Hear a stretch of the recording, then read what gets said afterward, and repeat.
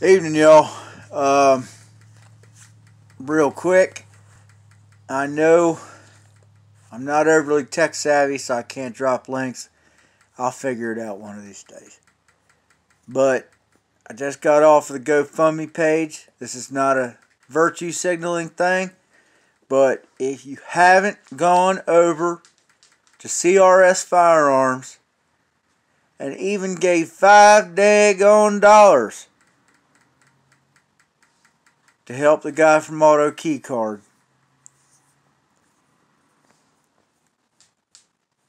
This is it, people. If this court case don't take off,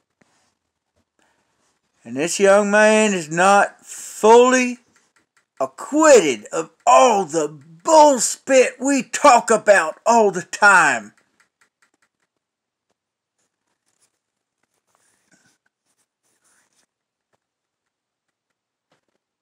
This is it.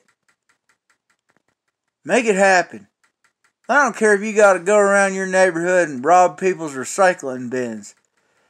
Grab the aluminum cans out, drag them on up to the scrap yard, put the work in.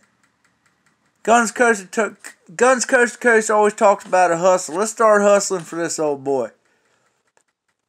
Because I, it, I know most of us are willing to go ahead and go the other route.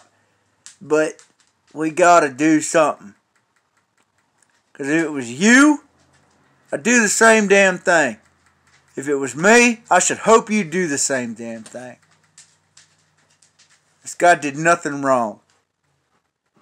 And the ATF should look at it like it's a courtesy that we're playing it legal.